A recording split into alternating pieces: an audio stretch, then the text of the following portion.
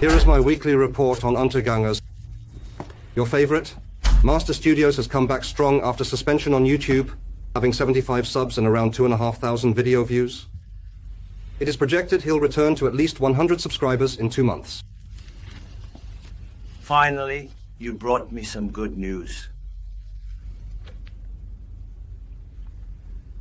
But HRP? HRP is bragging about his combined parody length. Over 15 hours total.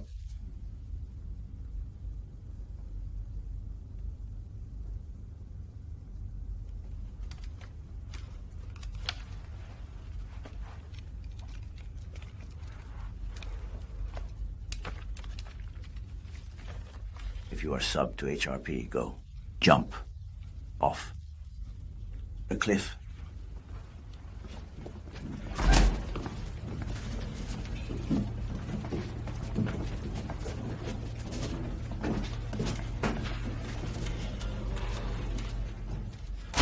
That self-centered prick! Why else would he declare that? It makes no sense to me.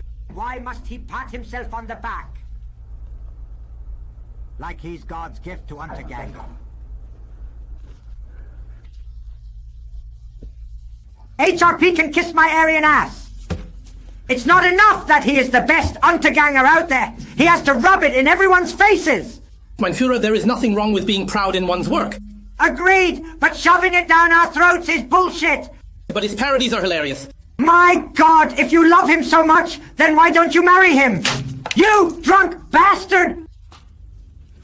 HRP has the mind of a genius and can pump out knee-slapping parodies faster than anyone I have ever seen.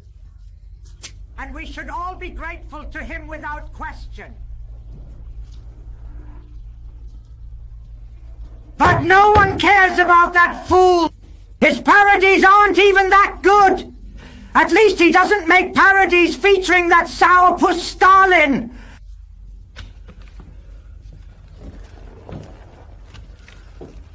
What an asshole. Over 15 hours, I'd rather marry Fegelein than having to endure all of that.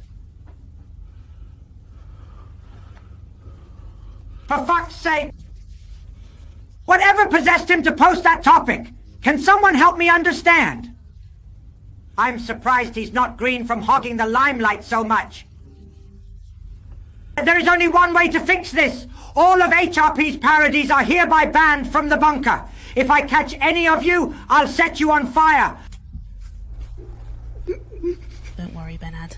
We'll go to Fegelein's house.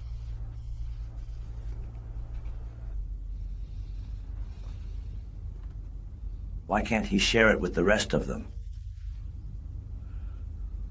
It is hard enough for Untergangers to get good viewership. Except for him.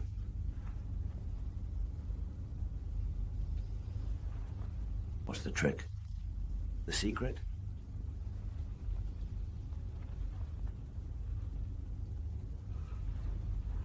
Next time I see that prick, I'll tie him down in this very chair, and I will read him Mein Kampf from cover to cover. See how he likes it. Over 15 hours.